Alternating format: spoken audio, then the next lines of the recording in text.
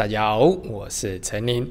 最近哦，我在看那 FB 小短片的时候啊，我就讲过我很喜欢看小短片，因为它会给我带来很多人生启发嘛，有很多有趣的影片，然后看了之后就觉得啊，我人生又被启发了。那今天呢，被启发了什么呢？就是有一个。关于这戴不戴套的问题啊，这东西呢给了我一个隔行如隔山的启发。到底戴不戴套跟隔行如隔山有什么关系呢？今天我就来跟大家聊聊。如果呢你看完影片之后，你发现你也有一个给了你人生启发的小短片，然后你可以跟我分享。有机会呢，如果看的真的是诶人生启发，我再来跟大家分享啊。那我们就开始喽。这一次这影片呢是讲什么？为什么跟有套无套有关呢？其实呢就是大陆啊有一个综艺节目，而综艺节目呢它就是每一集啊都会找一些很专业的人士啊，然后来做个小比赛啊，然后呃让我们看看他们有多专业啊什么的哦。这种节目很有趣哦，我常常看这样的短片。然后呢那一集啊我印象很深刻，他就找了一个医生，一个外科手术的医生。那他这次要挑战什么呢？啊，当然不是在节目上开一台刀给大家看哦，他要开刀的对象是一颗鸡蛋。他说呢，啊，我们呢就由这个外科手术要做这个显微手术，然后呢要把这个鸡蛋呢抓一个小洞，呃，差不多一平方公分左右，挖一个小洞之后呢，那鸡蛋不就破了嘛？那破了之后呢，它必须留下里面那个膜，然后呢把那个膜呢再切开一个大概一立方呃一平方公分左右的一层膜，然后把它切起来之后呢，再从别的地方呢拿另外一块膜把它缝回去，把这鸡蛋复原。我想，哦，这也太难了吧！啊，鸡蛋呢这种东西怎么有办法这样复原呢？哦，你后来想想，哎，不对，哦，外科医生都是要这么做的嘛。你看，他把你的大脑打开，然后把里面的东西切了，然后再把你的大脑缝回去，那不是也是复原了吗？比鸡蛋危险多了。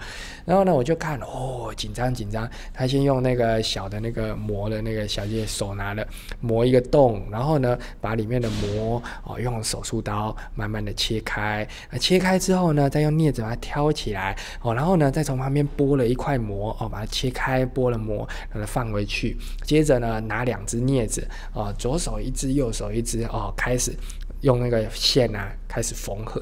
哇，把它缝好了，就这样完成了。我说，我就想啊，哎呦，这医生真的很厉害你看他们都要戴套的哦，工作的时候一定要戴手套哦，戴着手套去做这样的事情。那我们都知道嘛。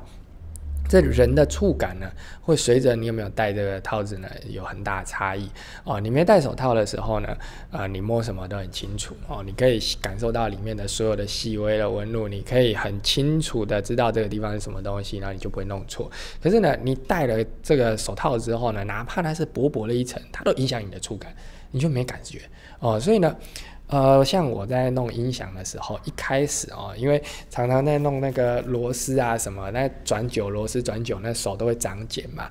那我就想说这样子不好啊，不好看，所以我就戴手套啊，就出问题了。因为呢，那个螺丝起子，因为戴了手套影响手感，那转的时候呢就没什么感觉，不小心呢就转断。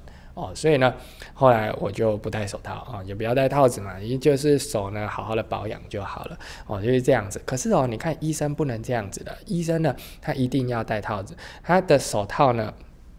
有的医生哦，甚至他可能会戴两层哦，因为呢，其实你要知道，外科手术呢，它有这个这个手套穿刺的这个风险是很大的。你看呢，医生用的工具都什么样的工具？手术刀啦、镊子啦，哦啊，如果骨科呢，还有电锯啊什么的，都是一些很危险的道具。但是危险的道具呢，你不要说拿去切人呐，哦，你有时候在那个你的台子上切猪肉啊，你都会切到手了，更何况切人呢？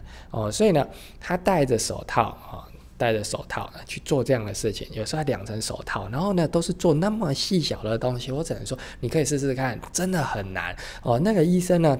可以做到这样，戴着手套，然后把一个鸡蛋打开，再把它缝回去。我呢是空手拿这个鸡蛋呢，都会把它捏破。所以呢，那人呢真的是隔行如隔山呢。我觉得这真的很困难的事情哦。你看这个这个医生呢，他就可以这样子哦，就是不戴戴着手套啊，做这么精细的事情。而我呢不戴手套啊，鸡蛋还比较啪。我我之前跟我太太说啊。鸡蛋破了掉在手上怎么办呢？大家说啊，就洗掉啊，浪费一颗鸡蛋，不然怎么办？我可很可惜呀，那就是发生这样意外。所以有时候我觉得医生很厉害，他们戴不戴套呢，都这手都很灵敏哦，觉得它不影响它的灵敏度，我觉得他们很厉害，有没有戴都没差哦。但是呢，这对于我们一般人来说呢，我们就特别的可以感受到隔行如隔山的道理。你看哦。很多事情呢，你很想去做它，你想说啊，妈妈说当医生呢以后会赚大钱我就想当医生。可是呢，像我就很明白的知道呢，我不适合当医生。为什么？我没耐心嘛。哦，那医，你看哦，第一个病人来的时候来跟我讲说，哎，医生啊，哦，哦，陈林医师，呃，陈医师，我的这个呃这个肚子痛，哦，痛很久了。我说好，那去做检查，检查没有问题，你心里有问题，回家。我就很想这样跟他讲啊，可是医生不能这样讲啊，对不对？所以呢，你看，第一个我没耐心，就不能当医生；第二个呢，你看我空手拿鸡蛋都会捏破了，人家戴着套子在做鸡蛋，还可以帮他缝合。你看，光冲着这一点，我也没办法当医生。所以呢，真的隔行如隔山，这就是这样的道理。那你说，哎，当不当医生做什么？我很喜欢音响啊，很多医生啊，他没有空去在那边比较啦，这个音响好听不好听的？他就是想要有一套音响，然后他不需要，他只要掏出钱来，然后这套音响就会出现在他家，根据他喜欢的音乐什么的啊，然后呢，他的预算，然后通通把它搭配好，然后付了钱，这东西就出现在他家。以后呢，他去医院，然后累了一整天，回到家之后呢，就可以啊，开心的啊，开始听音响。他要的是这样，所以呢，我的专业就在这里，他的专业在救人，我的专业在救他哦，所以呢，不一样的嘛，对不对？所以呢，我认为啊，有一句话我很喜欢，就“天生我材必有用”哦，这句话真的很棒。有的时候呢，你会想要自己去跟别人一样哦，说你看啊，我的同学都很厉害啊什么的，像以前哦，那个高中的时候啊，我看我的高中同学。哦啊，一个一个的，那那化学很强啊，物理很强啊，哦什么的。我的化学考三十分啊，他的考化学呢就考九十分，啊就差这么多哦。每次陈林那老师呢看到我就跟我说：“陈林啊，啊你这样化学被当掉了怎么办？”啊，可是呢他看到另外我那个同学的时候呢，他就说：“哦，啊你化学考九十七分，那剩下的三分去哪里？你写冲啥？”我想，好。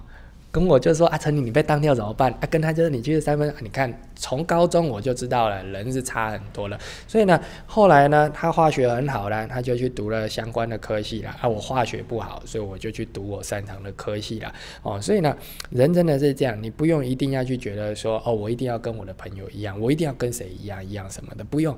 过得开心就好。你做的事情是你喜欢的，是你擅长的，而你靠它赚到钱来养活自己的时候，你并不觉得委屈，也并不觉得痛苦。那么呢，这就是一个很好的工作，也是一个很好的努力方向哦。不用强迫自己一定要读电机系，一定要读医学系哦，不用。好好的找到你真的喜欢的东西，然后有那个毅力，有那个恒心，可以把它做到最好，让你成为一个成功的人，这样子就不枉此生了哦。今天呢？就聊到这里啊，这个呃看着呢，大家可能一定觉得啊，陈林又要开车，车速有点快啊，没有没有开车，我的影片呢一直都是各式各样我的人生体悟来，所以很有趣了，今天就跟大家分享这个故事啊。那如果说呢，看完这影片之后，你觉得哎，陈林影片真的太有趣了啊，我一天不看你的影片不行，那么呢？第一个，你可以在我的资讯栏里面呢找到频道会员的链接，旁边这里也有超级感谢按钮，这两个都可以制作把影片做得更好。那另外呢，如果你加入频道会员的话呢，你还可以看到我专为这个频道会员拍的影片啊，那是一些不适合放在这个公开频道的影片啊，你加入之后就可以看到它了啊。所以呢，就感谢你的收看，也谢谢大家的支持。我是陈林，我们下次见，拜拜。